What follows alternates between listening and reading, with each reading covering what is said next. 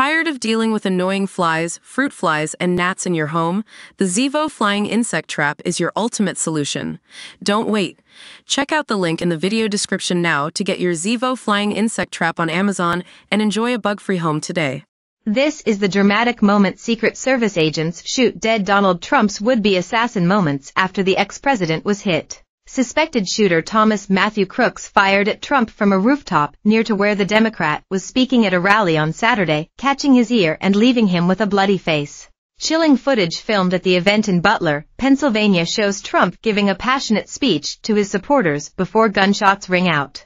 Trump is seen facing to the side when the first bullet is fired before quickly moving his head just inches as his right ear is pierced by one of the shots. The 78-year-old can be seen touching the side of his face as he falls to the ground to save himself from any more bullets. Secret Service agents then leap onto Trump to protect the man vying to become president again.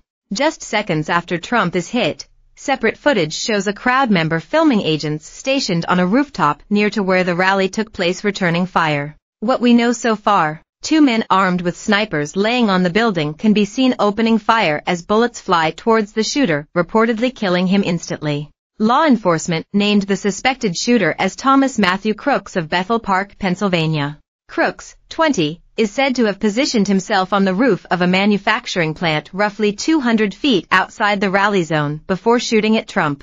One audience member was killed in the attack at Butler Farm Show grounds and two others critically injured.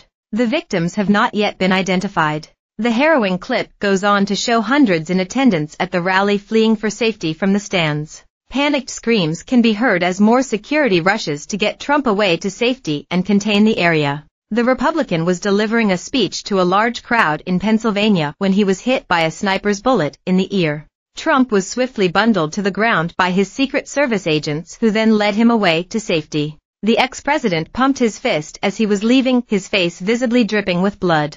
Trump took to his personal social media later on to say he was shot and the bullet hit him in the upper part of my right ear. He assured his fans that he was fine and was receiving treatment. A stunned eyewitness has described the moment he saw the suspected assassin crawl onto a nearby roof clutching a rifle before opening fire. We noticed a guy crawling, you know army, bear crawling up the roof of the building 50 feet away from us, he said. So we are standing there pointing at the guy crawling up the roof, he had a rifle, we could clearly see he had a rifle. Speaking to the BBC, he added, I'm standing there pointing at him for two three minutes.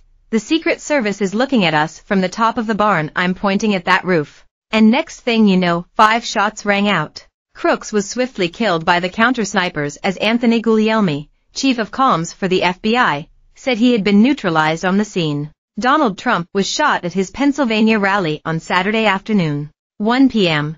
Doors open at the Butler Farm show grounds where Trump was expected to speak at 5 p.m. For 11 p.m., Sean Parnell gave the opening speech. 4.35 p.m., David McCormick rallied the crowd. 5.30 p.m., crowds were still waiting for Trump. 6.03 p.m., Trump takes the stage. 6.11 p.m., gunshots were fired as Trump delivered remarks. 6.12 p.m., Trump was ushered off stage by Secret Service agents. 6.42 p.m., Secret Service confirmed Trump is safe. 7.24 p.m., the shooter and one rally attendee are confirmed dead by law enforcement officials. 8.42 p.m., Trump confirms he was shot in the ear, sharing a statement on Truth Social. 8.49 p.m., the Secret Service confirms the shooter and a rally attendee are dead. Two others remain critically injured. Officers said they are looking into the motive for the shooting but have confirmed it as an assassination attempt on the former president. The FBI released a statement during the early hours of Sunday saying, the FBI has identified Thomas Matthew Crooks, 20, of Bethel Park, Pennsylvania, as the subject involved in the assassination attempt of former President Donald Trump on July 13, in Butler, Pennsylvania. This remains an active and ongoing investigation. The FBI managed to identify Crooks through his DNA with officials saying he didn't have a